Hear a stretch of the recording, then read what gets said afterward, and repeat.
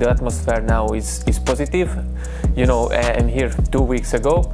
Uh, I had the feeling from the first moment the chemistry between the players and the staff members are good. So I, I'm, I'm, I'm looking forward and very positive.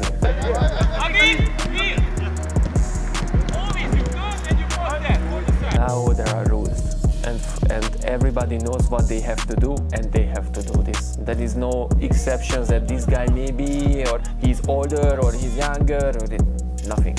Everybody has to do the, they have to follow the rules what, the, what the coach write down and they, and they show them.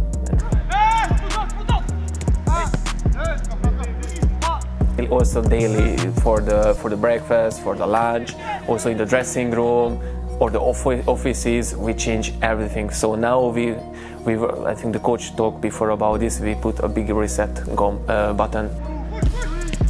When the players is, is there, maybe the results are not coming. It's this, this is this is what it can be one good thing that they can little bit to more focus on the football and to change their ideas a little bit and then to just to go up.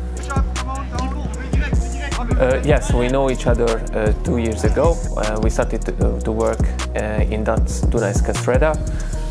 From the first moment, I had the feeling that uh, I can follow his philosophy, what he is working, and from this we have a very good relation from the first moment. You can go to the other side, only in yourself. It's very important the intensity, to put intensity on the training sessions and, and train like how to play.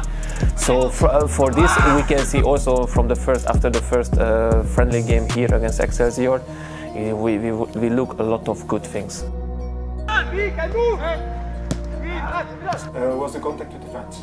Yes, I was here and uh, I was a little bit surprised, but for a positive way because that was my first time ever when the supporters were here waiting for one with one presentation and to show that what they what is the history of the club what we can expect from them and also what they are expecting from us. I think what they want they want to want wants to see just one team who are fighting.